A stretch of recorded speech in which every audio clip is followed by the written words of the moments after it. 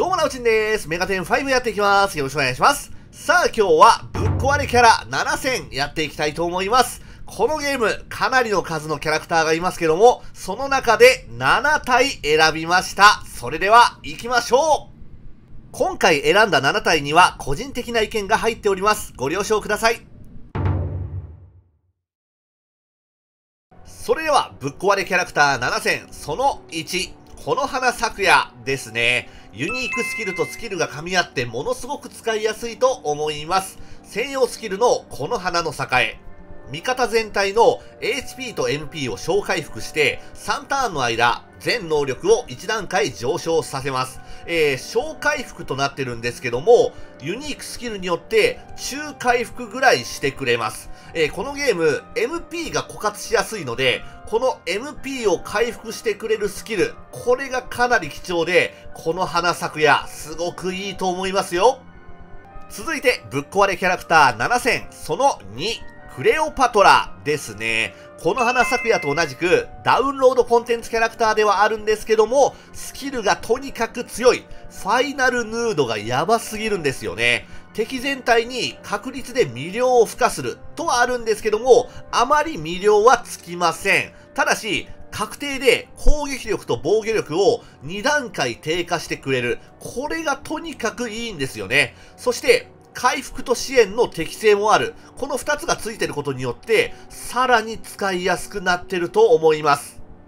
それでは、ぶっ壊れキャラクター7選、その3、ベルゼブブですね。ベルゼブブもユニークスキルとスキルが噛み合ってものすごく使いやすいです。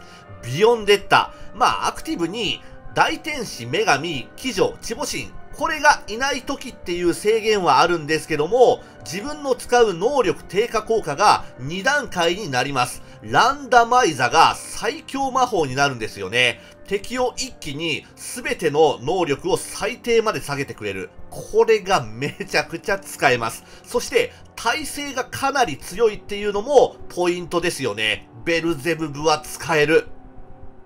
ぶっ壊れキャラクター7選、その4。ルシファーですね。ルシファーもユニークスキルとスキルが強い。ユニークスキルの終焉の夜明け。えー、パーティーにルシファーを入れておくだけで、味方全体のクリティカル率が上昇します。これ、パーティーに入れておくだけっていうところがいいですよね。そしてスキル、はじめに闇ありき。えー、敵全体を攻撃しつつ、チャージ効果とバリア効果を解除する。攻撃力はそれほどないんですけども、効果を解除するっていうのが、ボス戦で使えるんですよね。続いて、ぶっ壊れキャラクター7戦、その5、マサカドですね。マサカドはユニークスキルがものすごく強いんですよ。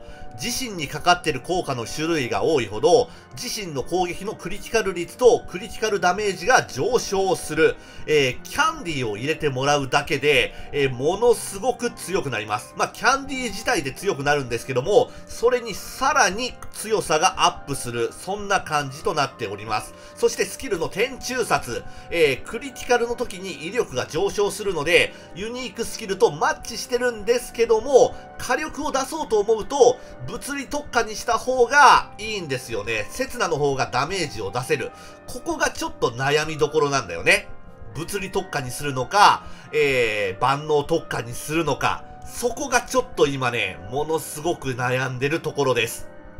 それでは、ぶっ壊れキャラクター7選、その6。マリア、そしてアルテミス、この2人ですね。ユニークスキルが同じです。鋼鉄の純血。えー、自身の防御力が2段階上昇してるかつ防御中、相性を無視して貫通する効果を無効化します。えー、防御力が2段階上昇して防御中っていう縛りはあるんですけども、超優秀なタンクになりますので、かなり使えると思いますよ。マリアは回復もできます。そしてアルテミスは攻撃特化ができます。えー、どっちを使うかはあなた次第っていうところですかね。ぶっ壊れキャラクター7選、これが最後ですね。ヒトシュラですね。ヒトシュラはゲストキャラクターとしてパーティーに入れることができるんですけども、ゲストキャラクターなので、ステータスをいじることができないんですよ。なので、最終的にはものすごく弱いキャラクターです。しかし、強いところがあるんです。それが、うつセミですね。耐性がものすごく強くって、すべて無効となってます。ぜひ主人公の体制は、人修羅にしてあげてください。はい。ということで今日はぶっ壊れキャラクター7選やっていきました。えー、これには個人的な意見が入っておりますのでご了承ください。ということでまたやっていきます。チェックをよろしくお願いします。そしてチャンネル登録と高評価もよろしくお願いします。それではご視聴ありがとうございました。